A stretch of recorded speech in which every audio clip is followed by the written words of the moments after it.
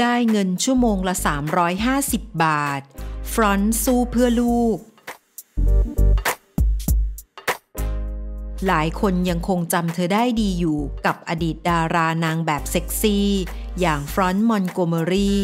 ที่เคยฝากผลงานละครดังไว้อย่างมากมายในยุคก่อน เธอได้หายไปจากวงการทำมาหากินอะไรอยู่วันนี้เพื่อนสนิทสุดซี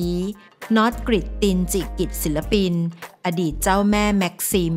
ปัจจุบันเป็นบรรณาธิการให้กับนิตยสารบราย ได้มาเล่าให้ฟังชัดๆ ต้องย้อนเวลาหาอดีต เมื่อก่อนแล้วนานมากๆ น็อตกริดตินและฟรอนต์นั้น เป็นเพื่อนรักกันมาอย่างยาวนาน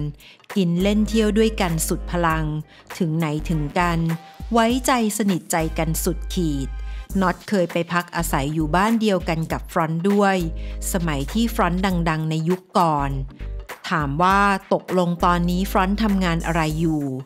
ตอนนี้ฟรอนต์ทำงานเป็นเด็กเสิร์ฟที่ร้านอาหารไทย อยู่แถวรัฐวอชิงตันที่สหรัฐ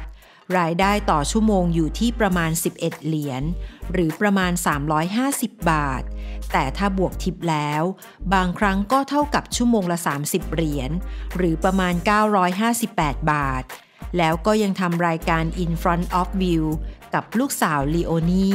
และเป็นพิธีกรให้รายการทางออนไลน์อีกด้วย จริงๆ งานเสิร์ฟฟอนต์ทำงานเป็นอาชีพเสริม ไม่ได้จริงจังค่ะ เพราะงานหลักคือการเป็นแม่บ้าน ถามว่าเลี้ยงดูลูกและเป็นพิธีกรรายการใช่ไหม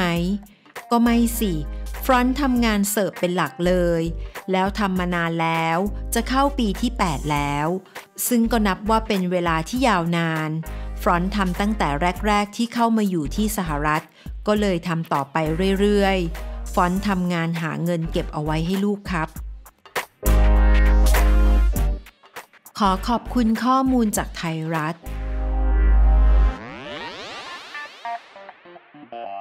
อย่าลืมกดติดตาม พร้อมทั้งกดรูปกระดิ่ง เพื่อแจ้งเตือนทุกครั้งที่มีคลิปใหม่ๆ จะได้ไม่พลาดคลิปของเรื่องเล่าข่าวค้นนะคะ รักทุกคนค่ะ